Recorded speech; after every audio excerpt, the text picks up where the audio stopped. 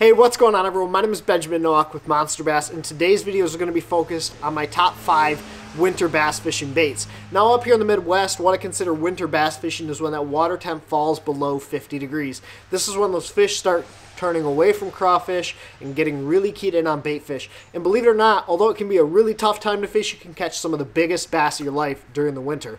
So for those of you guys that live down south, though, you're going to have to talk to your buddies. Maybe your water temps don't get below 50 degrees, so you're going to figure out what that water temp is. But these are baits that are going to work across the country, no matter where you live.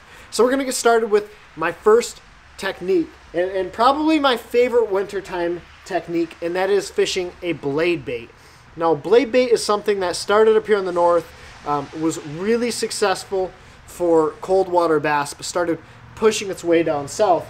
And a blade is a great way to imitate a variety of different bait fish for lethargic bass. This is something you can fish slowly along the bottom with short hops and trigger those fish from long ways away.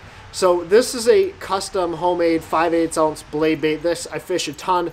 Um, but a blade that we included in the box is the Steel Shad. Now this is 3 eighths of an ounce. I like to fish this on a spinning setup, whereas most guys might fish this on a, on a bait casting setup, fishing on a spinning rod with 15 pound test braid main line to 8 pound fluorocarbon leader. what you're going to do is make a long cast with this bait, let it sink to the bottom or let it sink to the top of that grass, and you're going to just make really short hops. Really short hops. You don't want to lift this bait very far up off the bottom because once it gets down there, you're going to feel it vibrate when you lift it. You just want to let it fall back down there to the bottom. These fish during that cold weather are going to become really lethargic. So by fishing a bait slowly in front of their face, you're going to give them an opportunity to come up, ambush it, eat it, and really start choking on that blade. And it's a great way to draw a lot of really big fish from those lethargic lakes where those fish don't really want to eat. A blade bait is going to be a great technique to trigger some of those bites. But when that sun gets up and those fish start becoming a little bit more aggressive, which will happen even though it's cold water, I like to start with something a little bit more aggressive. And this is a moving bait. This is a small body crankbait. This is probably Alex Rudd's favorite bait of all time is a small body crankbait. And this is a Rapala um, Shad Rap 7 or 9, I believe. But I like this bait because I can fish it around those same areas I'm fishing the blade bait but it allows me to cover a lot more water. I can fish it a lot more quickly.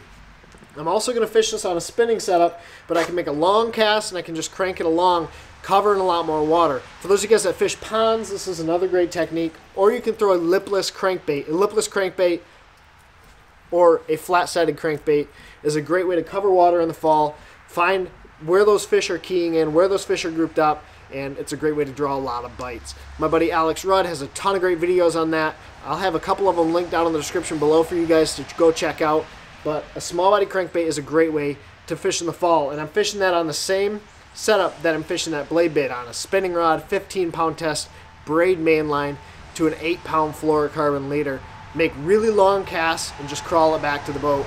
Triggers a lot of big bites and you can catch some of your biggest bass of the year on that bait. Now we're going to start moving into some of the soft plastics. And soft plastics are something I typically stray away from in the fall. And the reason for that is because with that colder water, those bait fish aren't actually going to have as much action. They're not going to be kicking around. They're not going to have big wide tail kicks or moving really erratically. So soft plastics tend not to work. But the exception is fishing soft plastics that have very little movement. And the first bait I want to talk about, one that's taken the industry by storm, is a Ned rig. So this is a 316 ounce Ned rig with a small Z-Man Finesse TRD. I like just a standard straight tail Ned rig bait when the water gets cold. It will really do absolutely nothing down there on the bottom, and I know it sounds really dumb, but a lot of times that do nothing presentation draws big bites. You're going to fish it really slowly along the bottom. So you're going to cast it out, let it sink to bottom, just pull it back to the boat or bank or kayak or wherever you're fishing, it's going to trigger a lot of big bites. Looks like just a little minnow crawling along there on the bottom, a little leech. Really easy meal for those bass to eat. It's not going to have a lot of action. Um, and this is the time of year I'm, I'm straying away from those Ned rig baits that have appendages on them. I just want something really dumb looking, crawling along the bottom because this is what's going to get bit this time of year. Now we're going to move into another style of moving bait. And although I said I, I typically stay away from baits that have a little bit of action, I really like to fish a finesse swim bait. So this here is an underspin, which is a weighted head with a blade underneath, and I'll fish a fluke style bait on the back. This is a hog farmer spunk shad. Um, basically, it just doesn't have a tail. So all the action is in the blade. This is great for schooling fish. This is great for fish that are feeding or keying in on bait fish, which is what fish are keying in on this time of year. And uh, doesn't have a ton of action, but this blade comes through the water. looks like a little bait fish, a little school of bait fish, and those fish are able to feed on it. But if the water gets really clear and they turn off that, that underspin, I will go to a finesse swim bait like this Keitech Easy Shiner. It has a little bit more movement, but because the body is so narrow, it really isn't going to displace a lot of water. But I'm going to fish it really slowly. I just posted a video on my own channel, the Smallmouth Experience. I'll have it linked up here in the corner for you where I fish a finesse swim bait like this in water temps 45 degrees and below. And the way I'm doing it is I make a long cast, I let it sink almost all the way to the bottom, and I just barely turn the handle. You just really want to barely get this handle moving. That tail's going to kind of kick real slowly, and those fish are going to come up behind it. They're going to be able to key in on that bait, eat it, and uh, you'll trigger a lot of big bites that way. So either an underspin or a finesse swim bait. Now, the final bait that I want to talk about, and this is one that kind of gets slept on, especially as that water gets cold, is a finesse jig. This is the Strike King Fluoro Hack Attack Flippin' Jig. Uh, and what I like about this jig is it's a, actually a relatively compact profile. So you have a smaller profile jig here. It has a screw lock keeper and a lighter wire hook.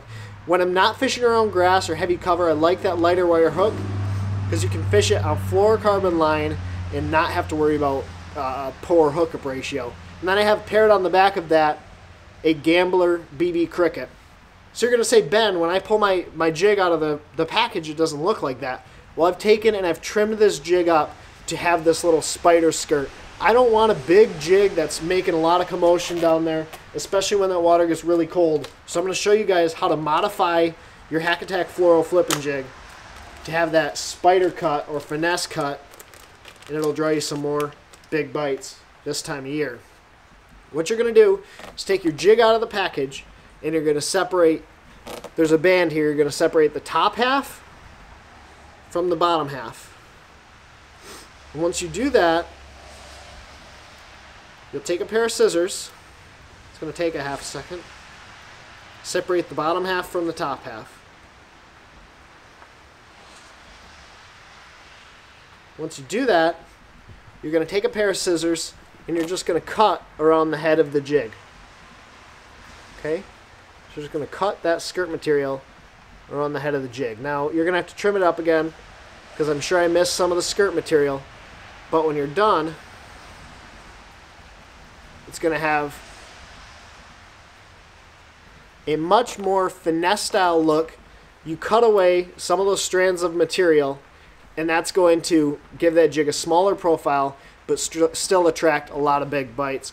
I also like to trim the weed guard on this jig, so what I'll do is I'll push it down, figure out where that weed guard touches the point of that hook, and I'll just trim it off. By doing this, you're going to help your hookup ratio. Like I said, there's not typically a ton of grass, and so when that fish compresses that weed guard, they're able to get the hook a lot better. And then you have that screw lock keeper in there. It's going to hold your trailers on there um, and keep you from going through a bunch of trailers when those fish eat it. Now, like I mentioned, the trailer I like is a super finesse trailer. It's actually a Gambler BB Cricket. This is a punching style bait. It has very little to no movement in the water, but gives it a little bit of bulk. Looks like a little crawfish down there. Looks like a little bait fish down there. And those fish will key in on it and crush it. Now this time of year I like to use black and blue regardless of where I'm fishing, clean water, dirty water. A lot of times um, black and blue seems to be the color that I go with. Trigger me a lot of big bites. So those are my top five wintertime bass lures. Again, a blade bait, a small body crankbait, a Ned rig, a finesse swim bait or underspin, and then that little finesse jig.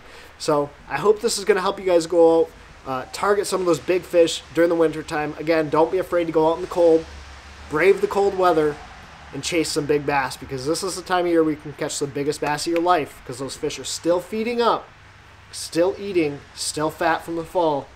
They're going to be big, giant fish that will still bite all of these baits. If you guys have any questions or comments, please let me know in the comment section below. I'll be willing to help as much as I can. And as always, thank you guys for watching, and I'll catch you guys next time.